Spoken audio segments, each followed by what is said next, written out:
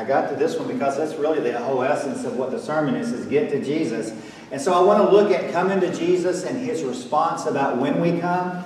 And we're going to look at about four different episodes or examples in the Bible that someone came across, how they came, what was the scenario, when they came, how were they received by Jesus. Uh, and so we're going to look at, my hope is that you'll understand the importance of coming to Jesus regardless of the obstacles that's in your way.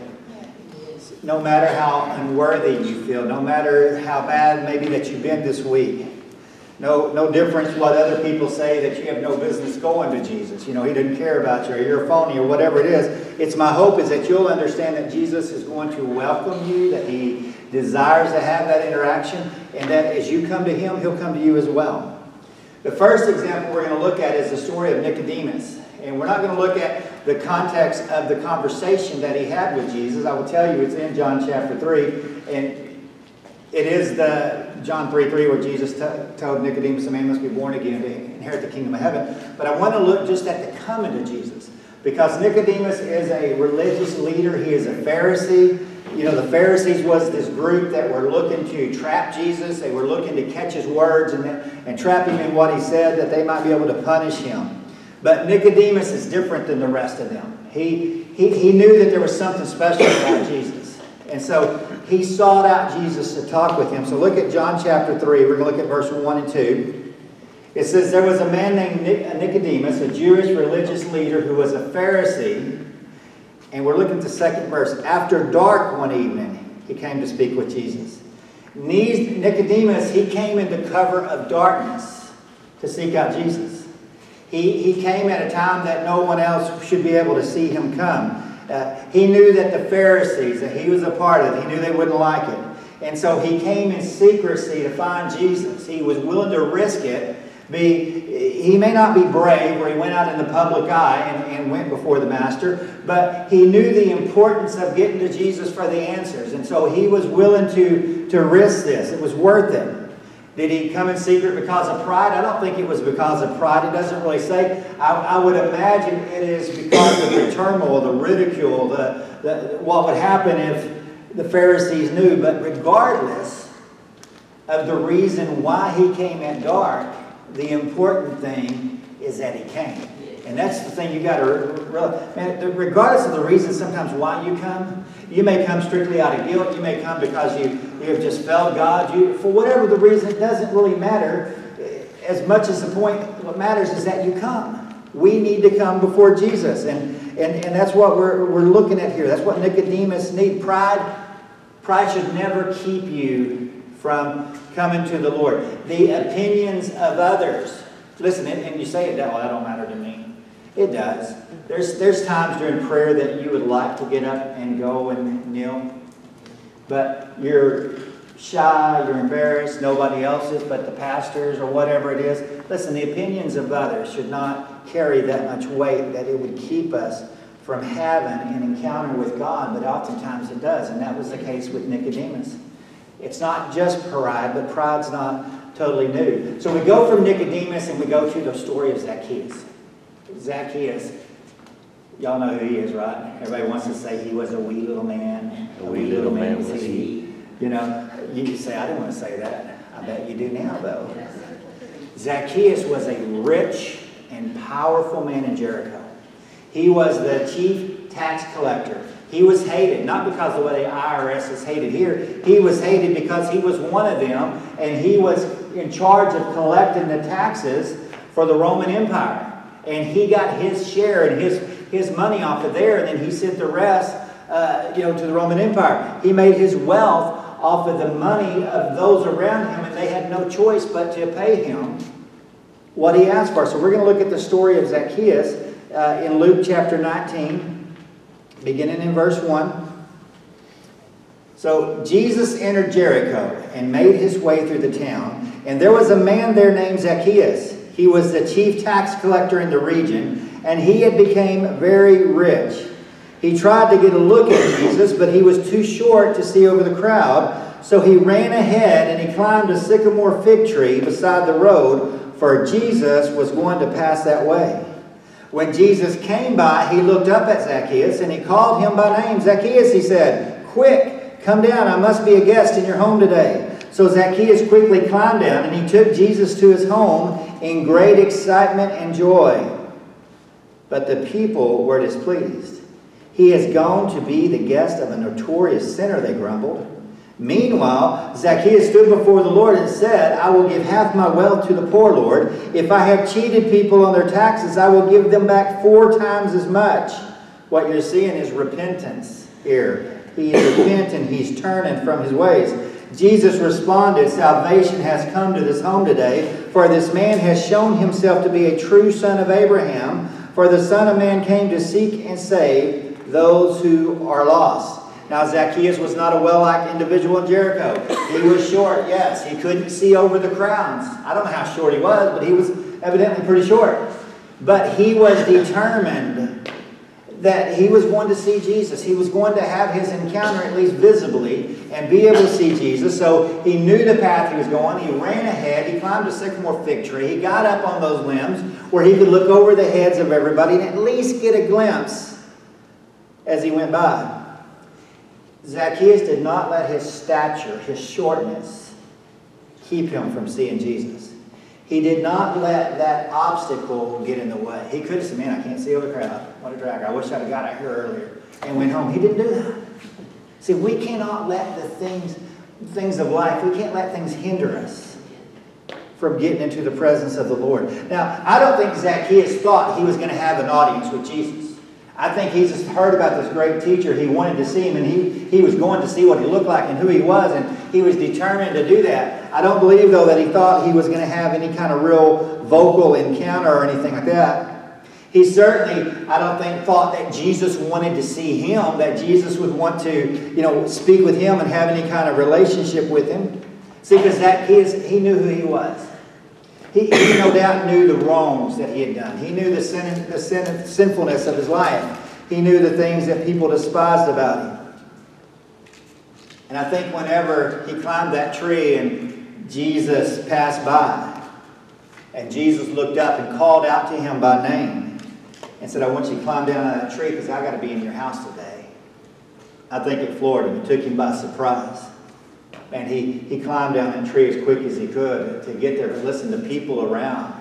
The mob that was following, all those people that Zacchaeus couldn't see over, they didn't like that Jesus was going to go to the home of a notorious sinner. But guess what? Jesus didn't care what they thought. I, I love this about, I, I just love when you read in the Bible and you read the encounters and the stories of Jesus and relationships and and stuff, you when you see what people go through and, and, and their determination to get before them. And, and you know, there was never anyone who ever did anything to find a way to cry out, to call out, to reach through the crowd and touch the hem of his garment that was turned away, that was rejected by Jesus. Now, the people didn't like it, but Jesus didn't care. I want to tell you something. People may think that you have no business crying out to God. They might think, listen, and it's probably with people that are closer to you. It could be husband and wives and moms and dads or kids and stuff, and, and you want to raise your hand during worship, but you think they don't think you have any business doing it because they know who you are and they know the choices you make. It may be that, that, that you don't feel like you should come down to the front and pray or you should worship or you should do whatever because you don't think you're worthy of it. You don't, you don't think it's right. Maybe you feel like you have let God down too many times, that He has no interest in you. Listen, I'm going to tell you something. I, I think sometimes you really have a heart's desire to live a certain way for God that is genuine and sincere, and yet you don't act upon it for a while. You want to, you sincerely want to, but there's something about your flesh that just hinders you from. Can, can I tell you, I have told Vita in the last three, four weeks that I am going to the gym. now, listen to me. I'm. and I tell her, but listen, I, it is a sincere plan that I have and a sincere desire. And when I tell her that, she, she gets tired of hearing it. And so, like somebody who said, talks about, I'm going to give my life to the Lord, I'm going to start doing better. And other people just kind of smirk at you the way she does me. and, and you, you, you know, you think, I don't even want to tell them anymore. And so you get to the point you don't want to say it anymore because you know they don't believe you. And, but you know inside you, really, listen, I really do. I do. I do this muscle, and then I do this one, and there's not one even there. You know, uh, what happened to that? You know, and, and so I really do. And then I watch the videos as I'm editing them, and I'm like, gosh, look at your body. You know, you should be better. And so when I say that, I'm, I'm using this for example, but I sincerely do desire to do those things. And I believe that there are people out there who sincerely desire to live for the Lord. Inside you do, and you just seem to struggle. And after a while of struggling and saying it, you don't even want to raise your hand or say something about a scripture you read or about something you prayed to God because you think your family, who knows you the best, just won't believe anything you say. They won't believe the desire of your heart. And after a while, that can keep you from wanting to have an encounter with God because you think it really won't matter. I'm telling you, that is just a lie of the enemy. Man, Zacchaeus was, was definitely not worthy. He wasn't a great guy. And you may feel like you're that same individual. Let me tell you something. God does have time for you. He does care about you. Can I tell you something that Jesus is passing by this way today? And you need to cry out to Jesus to have mercy on your soul. You need to cry out to him. Nicodemus came in the dark. He did, but he came. Zacchaeus didn't care that it was crowded and that he couldn't see. He was going to find a way to get to Jesus regardless of what anyone else thought. And in both cases, Jesus received them and he had a desire to change their life. You cannot let obstacles get in the way of you getting before Jesus. Not your opinion of yourself, not how good or how bad you are. Sometimes it's how good you are. Sometimes you don't go down front because you think, I think well, I wrong. You're missing the point. You really are. You cannot let busy schedules, you can't let the thoughts of others. Some people think it's a waste of time for you even to go to church. You can't let sickness get in the way. Let's go to another example. We're going to look at the paralytic man that had to be let down through the roof. We're going to look in Luke chapter 5, beginning in verse 17. Watch my time. Okay. One day while Jesus was teaching some Pharisees and teachers of religious laws, excuse me, some Pharisees and teachers of religious laws were sitting nearby it seemed that these men showed up from every village in all of Galilee and Judea as well as from Jerusalem. And the Lord's healing power was strongly with Jesus. Some men, some, some men came carrying a paralyzed man on a sleeping mat. They tried to take him inside to Jesus, but they couldn't reach him because of the crowd. So they went up on the roof and they took off some tiles. And then they lowered the sick man on his mat down into the crowd right in front of Jesus. And seeing their faith, Jesus said to the man, Young man, your sins are forgiven. But the Pharisees and the teachers of religious law said to themselves, Who does he think he is? That's blasphemy. Only God can forgive sins. Jesus knew what they were thinking, so he asked them, Why do you question this in your heart? Is it easier to say your sins are forgiven or to stand up and walk? So I will prove to you that the Son of Man has the authority on earth to forgive sins. Then Jesus turned to the paralyzed man and he said, Stand up, pick up your mat, and go home. And immediately, as everyone watched, the man jumped up, picked up his mat, and went home praising God. Everyone was gripped with great wonder and awe, and they praised God, exclaiming, We have seen amazing things today. Listen, no matter what it is that's in your way of, getting, of you getting before Jesus, you got to move past it. You got to move around it. You got to you got to get past it. You got to get you, you can't let that be the place where Jesus was at. If y'all can even begin to picture it, the place that he he was at was full. It was overflowing. They were outside the windows. They were outside the door. And here comes these men and they're carrying their paralyzed friend on this mat. They can't get there. The place is just surrounded. It's just full. It's a real problem. And they knew that they had to get their friends their friend in front of Jesus no matter what. That the only hope he had was to get him before the Lord. See, it didn't matter that it was full. It didn't matter that there wasn't a way in. Aren't you thankful that you don't have that problem today?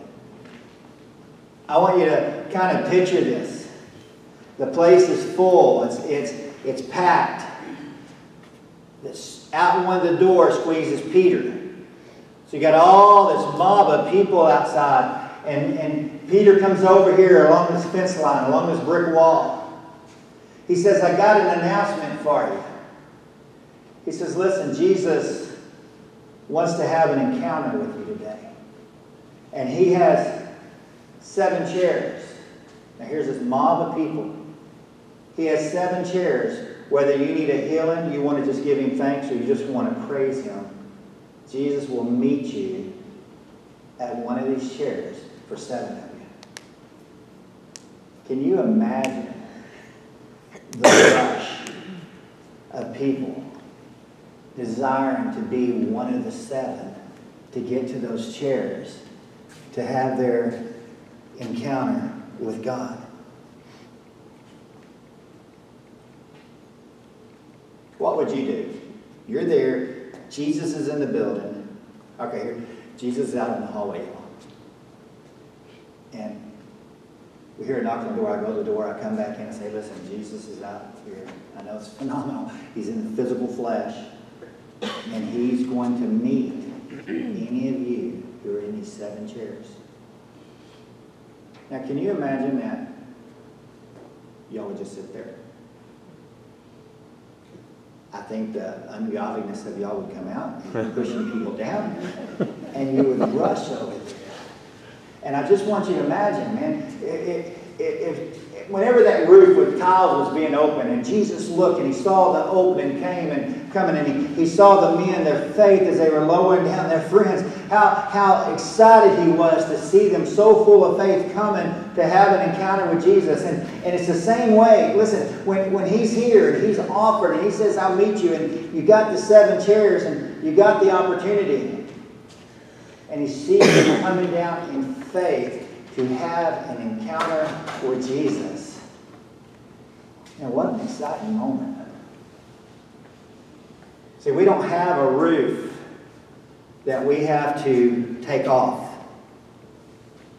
You don't have crowds here today or even next Sunday that you're going to have to push through. I'm just thinking, man, if there was a roof, God, that they had to take off to get to you when they could have just walked to these chairs, I'm thinking that roof's pretty safe. you know? You just got to imagine this joy. You just got to see this faith. You, I, I, want you, I want you to get to this place of understanding that it isn't always about you having a need to go to God. It's you going to have an encounter with Jesus just to tell him how, how uh, much, I don't have a problem today. I want to go down there and I want to spend time to set a time to tell God how much I love him and I praise him and I worship him. You're trying to make me feel, no, I'm not trying to make you feel better. I'm trying to make you feel great. And it is just simply amazing. So we're talking about getting in front of God. Because listen, you got busy schedule, you got tiredness, you got friends' activities, you got things that get in your way of life. And I'm the same way as you. I have to sometimes make time. And, and sometimes I go to bed and I think, man, I did not spend any time with God today the way that I wanted to. Oh, I thought about him. And of course, once you're in bed, okay, I'm in bed. i am going to get my tablet out. I'll read about you now. But it is an, and I'm not saying don't do it because, listen, it's better to do it then than not do it at all. But I want God to be more front and center in that in my life and in your life. I, and so I just want you to picture that when you kneel at your couch or you kneel at your bed or you, you stop wherever you are on Sunday, you come down to it. I want you just to picture that you are coming to kneel at the feet of Jesus and that he sees you coming in faith to have an encounter with him. That makes him happy. The last example today is out of Luke 7. And it is about a woman who is a sinful woman, and she's the woman who cried and she shed the tears and she, she wiped the feet of Jesus and she put the perfume on his feet and she kissed his feet and she anointed all this. She did all of this while Jesus was sitting at the table eating dinner with Simon the Pharisee. Simon did not ask Jesus to come to his house for dinner because he liked Jesus. He came there the same way all the Pharisees was, is he just wanted to trap Jesus. He wanted to get some evidence on Jesus. So let's look at this in Luke chapter 7, verse 36. So one of the Pharisees asked Jesus to have dinner with him. So Jesus went to his home and sat down to eat. When a certain immoral woman from the city heard he was eating there, she brought a beautiful alabaster jar filled with expensive perfume. Then she knelt behind him at his feet weeping. Her tears fell on his feet and she wiped them off with her hair. Then she kept kissing his feet and putting perfume on them. When the Pharisee who had invited him saw this, he said to himself, If this man were a prophet, he would know what kind of woman is touching him. She's a sinner. Then Jesus answered his thoughts. Simon, he said to the Pharisee, I have something to say to you. Go ahead, teacher, Simon replied. Then Jesus told him the story. A man loaned money to two people, 500 pieces of silver to one, 50 pieces to the other. But neither of them could repay him, so he kindly forgave them both, canceling their debts. Who do you suppose loved him more after that? and Simon answered, I suppose the one from whom he canceled the larger debt. That's right, Jesus said. Then he turned to the woman and then he turned to the woman and said to Simon, Look at this woman kneeling here. When I entered your home, you didn't offer me water to wash the dust from my feet, but she has washed them with her tears and wiped them with her hair. You didn't greet me with a kiss, but from the time I first came in, she has not stopped kissing my feet. You neglected the courtesy of olive oil to anoint my head, but she has anointed my feet with rare perfume. I tell you, her sins, and they are many, have been forgiven. So she has shown me much love. But a person who is forgiven little shows only little love. Then Jesus said to the woman, Your sins are forgiven. The men at the table said, uh, said the men at the table said among themselves, Who is this man that he goes around forgiving sins? And Jesus said to the woman, Your faith has saved you. Go in peace. Now, before we go into the scripture, I want to show you a video. It's a movie clip from this scene.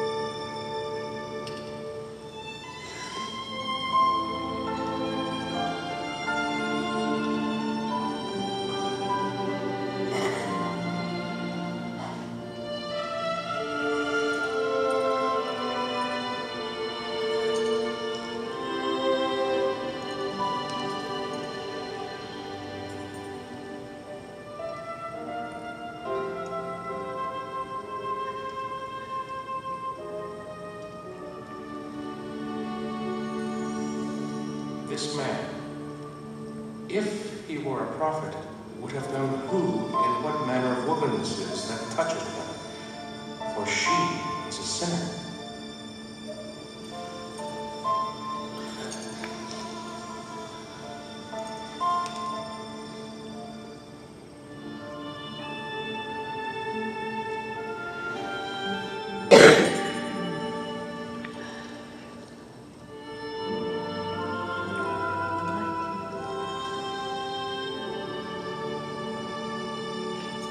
Simon, I have somewhat to say unto thee. Say on. There was a certain creditor which had two debtors. The one owed five hundred pence, the other fifty. And when they had nothing to pay, he frankly forgave them both. Tell me therefore, which of them will love him most? I suppose that he to whom he forgave most. Thou hast rightly judged. Seest thou this woman? I entered into thine house. Thou gavest me no water for my feet. But she hath washed my feet with her tears, and wiped them with the hairs of her head. Thou gavest me no kiss, but this woman, since the time I came in, hath not ceased to kiss my feet. My head with oil thou didst not anoint,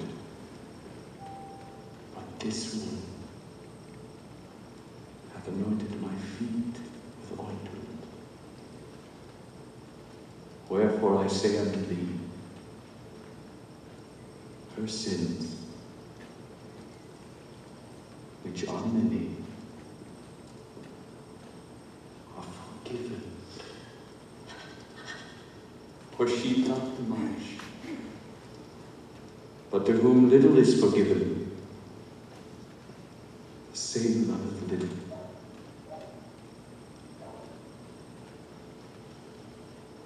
Thy sins are forgiven. Thy faith hath saved thee. Go in peace.